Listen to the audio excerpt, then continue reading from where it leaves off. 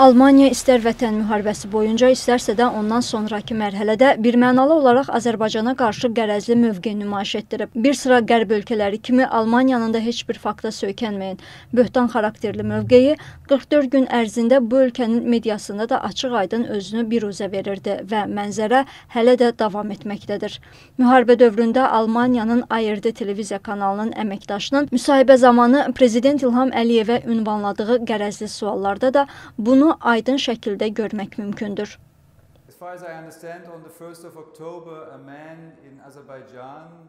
Mən bildiyimə görə oktyabrın 1-də Azərbaycanda bir nəfər sülh tələb etdiyinə görə həbs olunub. Bəzi insan haqları ekspertləri, müdafiəçiləri deyirlər ki, siz bu müharibəyə həm də xalqı ətrafınızda birləşdirmək, demokratiya və insan haqları ilə bağlı ölkədəki problemlərdən diqqəti yayındırmaq üçün başlamısınız.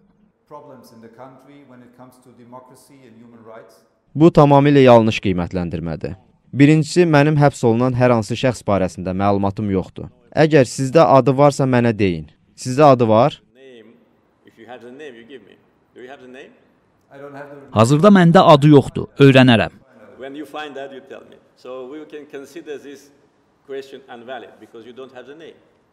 Öyrənəndə mənə deyərsiniz. Beləliklə biz bu sualı etibarsız hesab edə bilərik. Çünki sizdə ad yoxdur və məndə də bu məlumat yoxdur.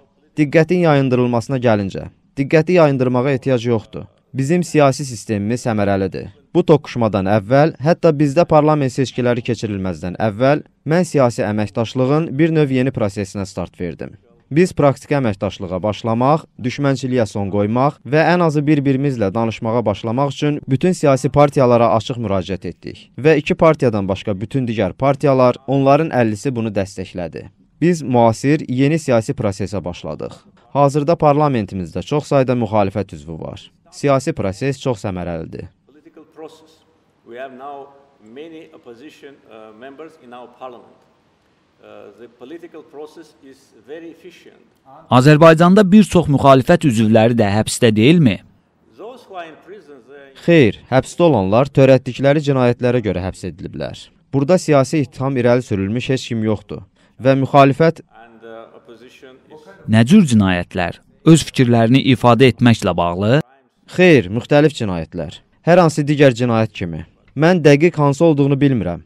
Amma bu sadəcə olaraq adi cinayətlərdir. Beləliklə bizim bu cür səbəbimiz yoxdur. İkincisi, pandemiya dövründə bizim iqtisadi göstəricilərimiz ən yaxşılardan biridir. İqtisadiyyatımız cəmi 3,9% azalıb. Bu bəzi Avropa ölkələrində olduğundan xeyli aşağıdır. Azərbaycanda yoxsulluq səviyyəsi 5%dir, xeyli aşağı. İşsizlik səviyyəsi 7%dir, xeyli aşağı. Bizim konvertasiya oluna bilən valyuta ehtiyatlarımız xarici borcumuzdan 6 dəfə çoxdur. Bizdə daxili problemlər yoxdur. Niyə mən buna başlamalıyam? Siz Azərbaycanı demokratiya nümunəsi adlandırardınız? Xeyr, heç vaxt. Siz öz ölkənizi demokratiya nümunəsi adlandırarsınız? Müəyyən mənada bəli. Lakin siz müxalifətin nümayişlərinə qadağa qoyursunuz. Xeyr, belə deyil. Bəli, bəli. Nümayiş keçirmək istəyən ekstremist. Adını unutmuşam. Siz onlara qadağa qoydunuz. Elə bu günlərdə də Almaniyada hökumətə bağlı olan media qurumlarında Azərbaycana qarşı qərəzli bəyanatlar verilir, arqumentsiz, məntiqsiz materiallar çap edilir.